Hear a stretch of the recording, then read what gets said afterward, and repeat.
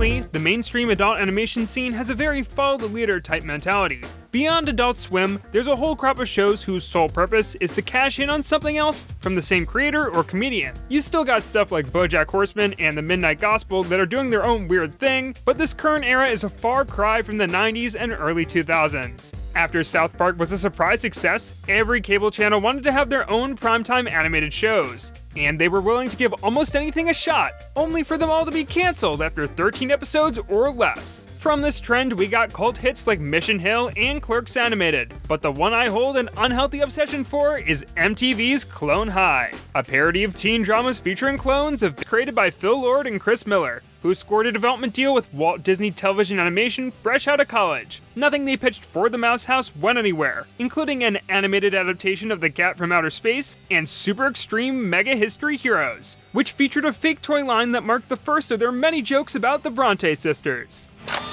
Together, the Brontes wrote books about confident, independent women. Now they join forces again to become the all-powerful Brontesaurus! During their development deal, they pitched what would become Clone High to Fox, and produced for them a 9 minute pilot that has never seen the light of day. It had a completely different art style that I'm not a fan of, and I was not ready for JFK's over-realistic smirk. Lord and Miller's pitch caught the attention of Bill Lawrence, who had just launched the NBC sitcom Scrubs, and with his help, the three of them sold the show to MTV. There's a lot of overlap between Scrubs and Clone High. Nearly all of Scrubs' regular cast members did voice work. It was written, recorded, and designed in the psych ward of the same abandoned hospital where Scrubs was filmed. The nameless janitor was animated into an episode where he was actually given a name, and the very first thing you see in Scrubs is a Clone High t shirt, one of the few official pieces of merchandise I've ever seen from the series. I started watching Scrubs in preparation for this video, and two and a half seasons in, I said, I can't do this. It's just not my cup of tea. And it was only after attempting to binge it, I found out that Bill Lawrence didn't have much involvement in the actual writing of Clone High. I gotta tell you, it was great uh, finding two young writers and, and really getting to work with them, and and more than anything else, getting to know um, line Chris Miller and Phil Lord. Chris Miller and Phil Lord. That becomes more clear when you compare the two back to back. The fourth episode of Scrubs ends with a sad montage that I can't take seriously because it's set to a song from the Shrek original soundtrack. Then you watch the fourth episode of Clone High, and gee, I wonder what they could be making fun of with this subtle jab. Does a sunset have a soundtrack featuring Smash Mouth?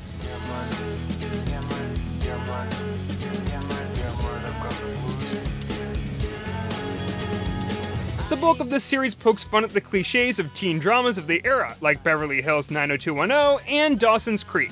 Every installment is billed as a very special episode, themed around PSA topics or school plot tropes like the student election or prom. They cover a lot of ground in 13 episodes, even if the timeline doesn't make much sense. But that structural confusion is to be expected in a show where there's a homecoming episode that doesn't actually have a homecoming dance. One of my favorite parts of how every episode is bookended is how the narrator constantly teases big twists that the show loves to spit in the face of. And something tragic may or may not happen.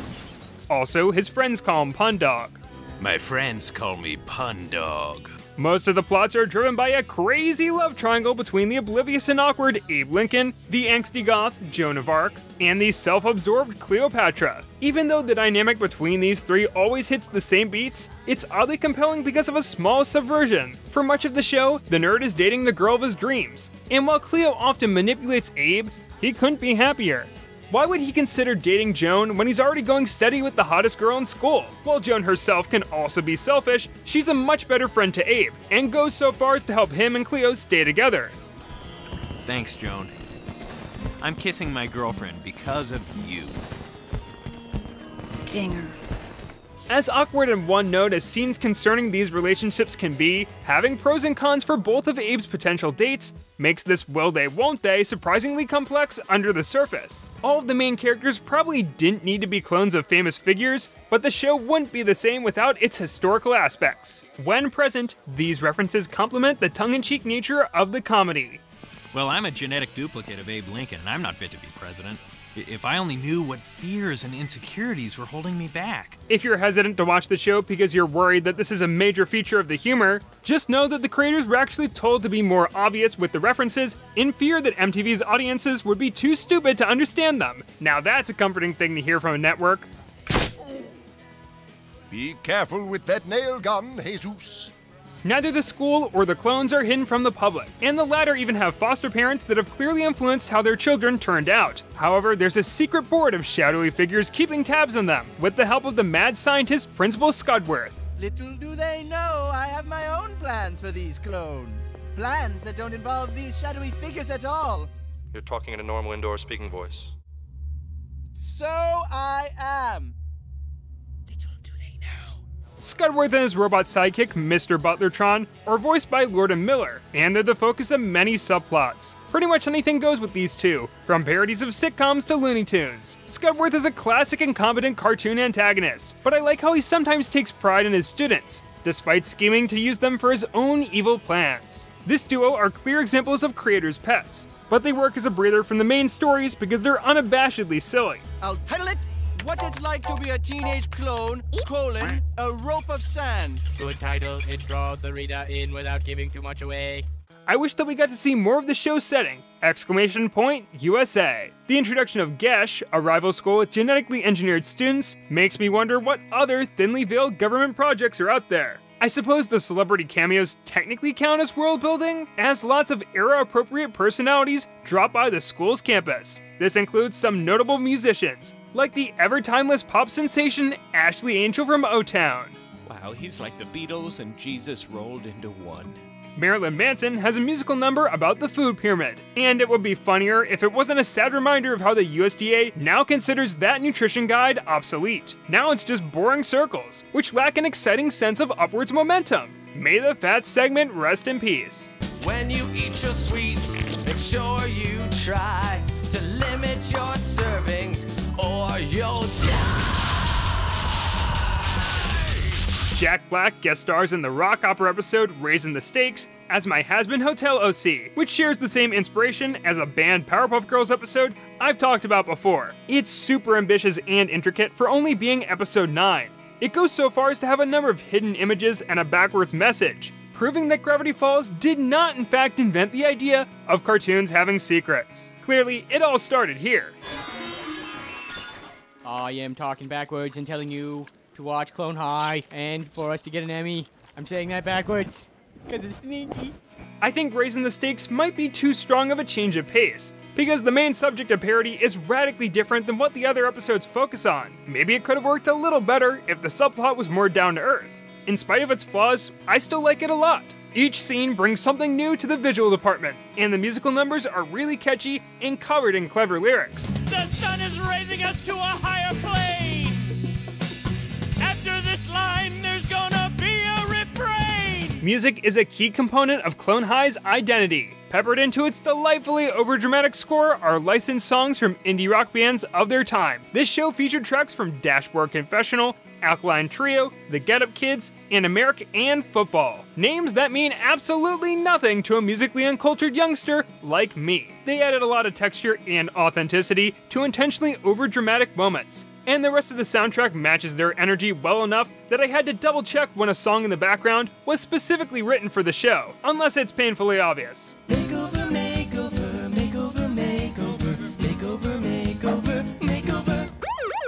I really gained an appreciation for the soundtrack when some of it was stripped away. Nowadays, if you purchase Clone High digitally or watch it on MTV's website, you'll be watching a rescored version that cuts out all the licensed stuff. This is just one of a few different versions of the series, with the others being the vanilla Canadian version that was released on a now out of print DVD, and a lightly censored American version that was referred to as Clone High USA. The rescores replacement tracks don't fit as well, and were hastily edited together, but they're not too noticeable unless you're watching them back to back, or you're watching this scene. Abandoned pools!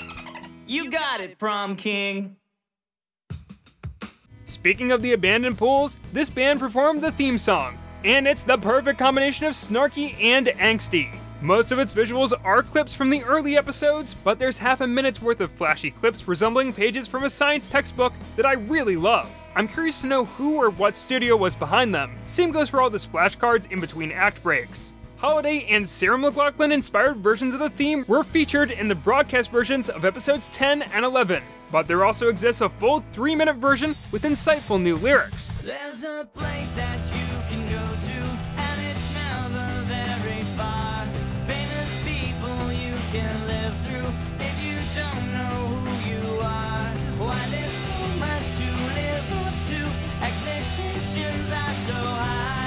Clone High is always upbeat or satirical, there is a sense of darkness covering its premise. These clones will never be their own people, and they'll always be in the shadow of their predecessors. It's a clever explanation for why the clones are so different than their counterparts, and have reinvented themselves in struggling to live up to their own legacies. The high school setting is a perfect fit for the story. Nowhere else is there as much pressure for one to figure out who they want to be. A different show might explore the philosophical and ethical ramifications of what it means to be a clone. But this is Clone High, and it's not very interested in doing that.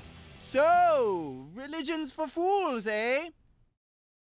In 2009, John K., creator of the groundbreaking cartoon The Ripping Friends, posted designs on his very out of touch blog that mocked the look of Clone High. As interesting as it is to see an industry veteran draw hate art, especially since the designer of those characters was a layout artist on four seasons of his own show, this flat, geometric, and thickly outlined style was everywhere in the early 2000s after the likes of Dexter's Lab and the Powerpuff Girls made it extremely popular. The trend was inspired by the work of the 50s era animation studio UPA, known for their Mr. Magoo and Gerald McBoing Boing shorts. While it would inspire the looks of many cartoons produced around the turn of the century, Clone High was one of UPA's most faithful successors. It's got plenty of overlapping shapes and colors, limbs are long and noodly, and often I can't tell where the floor ends and a wall begins. The show integrates its own visual language into that distinct style.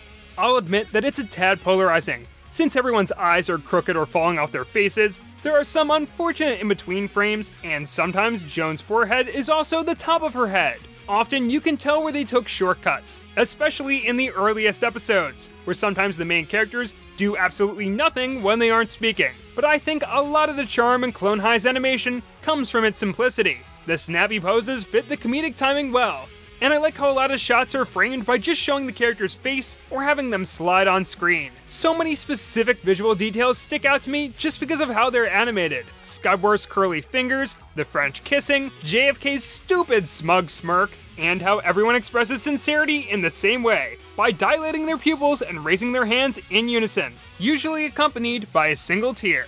Is that water leaking out of your face? It cracks me up how often this was used, just because of how silly the pose is to begin with.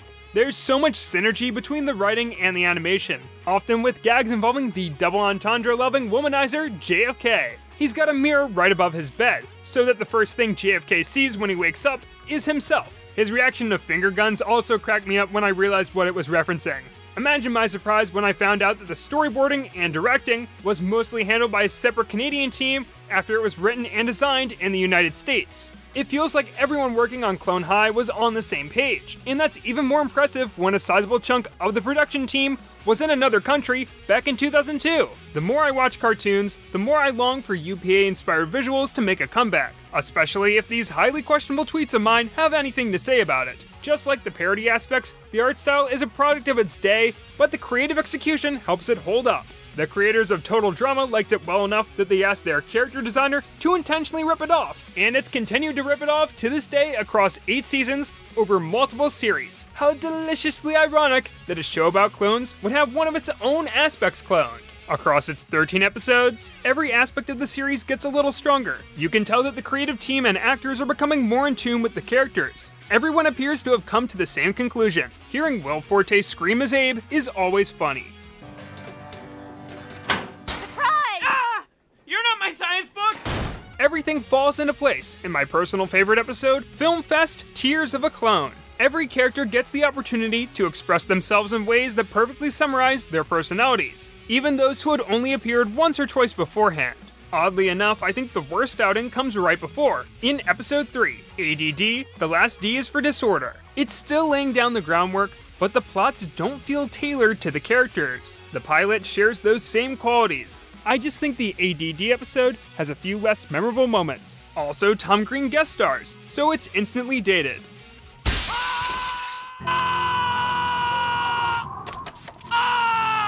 Episode 3 is about the school finding out that Gandhi has ADD. And, oh, I actually haven't mentioned Gandhi yet. He's an outrageous party animal and probably the best designed character. Gandhi's head is perfectly shaped like a G, and his small stature forces shots to be staged where he meets the heights of the other clones. To jobs! Gandhi's hijinks are usually relegated to subplots, so in the long run, he didn't have a huge influence on the show.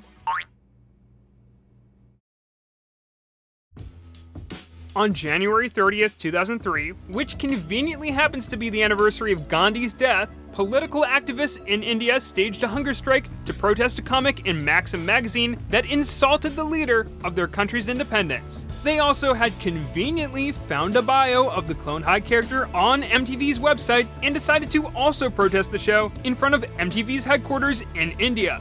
The head of the channel's parent company, Viacom, was conveniently visiting the building on the same day, and the strike trapped him inside protesters threatened to revoke MTV's broadcasting license in India if they didn't take Clone High off the air. And India conveniently happens to be a big country, so the show was scrubbed from broadcast, no pun intended, after only eight episodes aired in America. The thing is, this interpretation of Gandhi was inspired by how the original was known to drink and party when he was still in law school, as well as people of Indian descent the creators knew that also buckled under the expectations of their culture. Looking back on it, they admitted that it wasn't the best idea to poke fun at a historical figure that few members of the creative team truly knew the significance of but their intentions with the character were never malicious. The creators planned to send the protesters an episode where Gandhi didn't do anything stupid to show that they portrayed him as a person and not just a joke. But unfortunately, they could not find an episode that fit their criteria. How could I be embarrassed by a friend? Pow, pow, pow, pow, pow. Who's got the legs? Me. That's who. Me. If Gandhi didn't get the show canceled, low ratings would have been its downfall, because only one animated series on MTV in the past 20 years has lasted more than one season. Priorities at the network were shifting, and they rejected both pitches for a possible second season of Clone High. One where Gandhi was absent and no one questioned it, and another where it would be revealed that Gandhi was actually a clone of Gary Coleman all along, turning this gag here into accidental foreshadowing. Lord and Miller had plans for how they would structure the next three years of the series run. In Season 2, the clones would have their memories wiped and would repeat their junior year. Season 3 would be their senior year, and then in Season 4, they would be caught in a time loop that would force them to repeat their junior year again. I love how much backpedaling would be necessary, all because Season 1 didn't start during their freshman year. In the 17 years that followed, Phil Lord and Chris Miller did go on to become two of the most versatile directors in Hollywood, and they might have won a Golden Globe or Academy Award here and there, but all of their recent work is clearly still in the shadow of their low budget basic cable cartoon. Why else would they work with the same actors, reference its running gags, recycle their own jokes, and even name a key character after one of their old interns? Clearly, it's all been in preparation to bring Clone High back. But what if they weren't the ones to do it? Over the past few years, Ian McGinty hinted that he was working on some sort of continuation of the show in the form of a comic. He worked on the print adaptations of Adventure Time and Rocko's Modern Life, along with creating the pilot Welcome to Showside. Hey, look, Donkey Bird's going for the water again!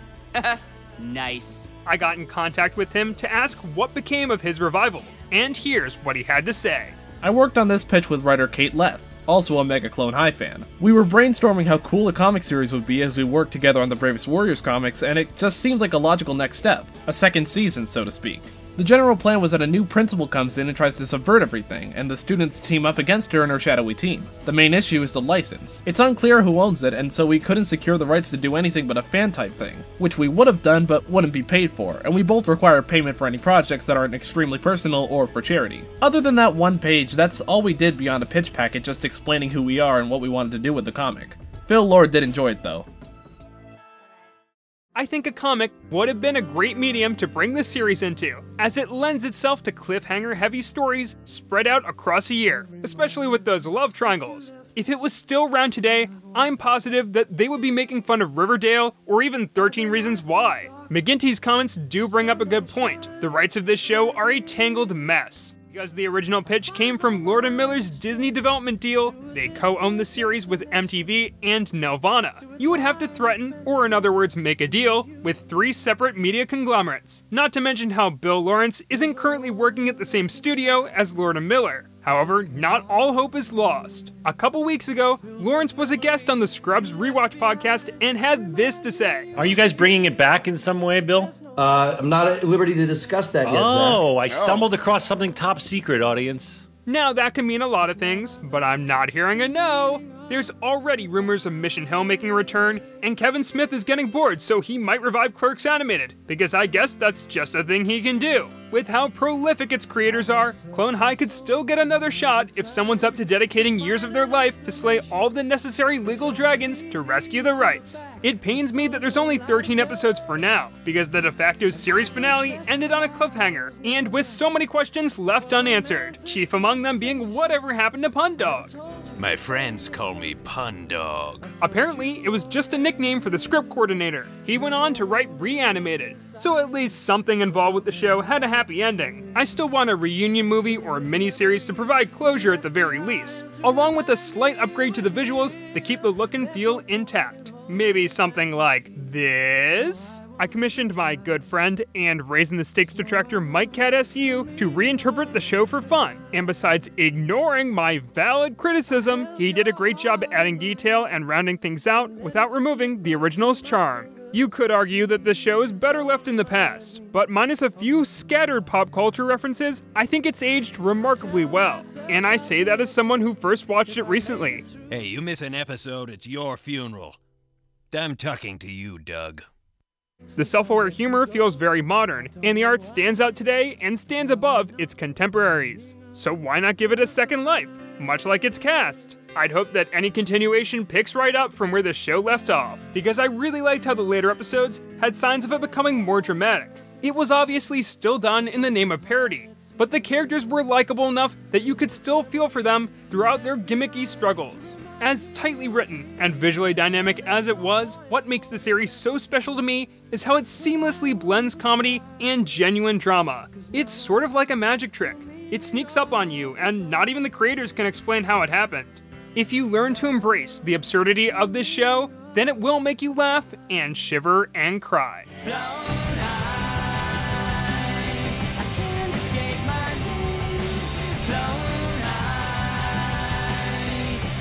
Price of fame. Flown